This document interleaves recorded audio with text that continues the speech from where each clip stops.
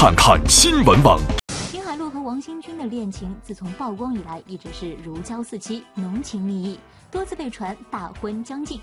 记者近日则发现，秦海璐现身某知名私立产科医院，王新军也一路护送上楼。不久结束检查的秦海璐走出电梯，一脸喜悦，王新军则紧紧跟随。难不成这是要未婚先孕的节奏吗？呃，因为我们俩都比较传统啊，然后呢，嗯，一定是应该是先结婚登记，然后再去考虑其他的问题。会看早前采访王先生，您可得谨言慎行哦。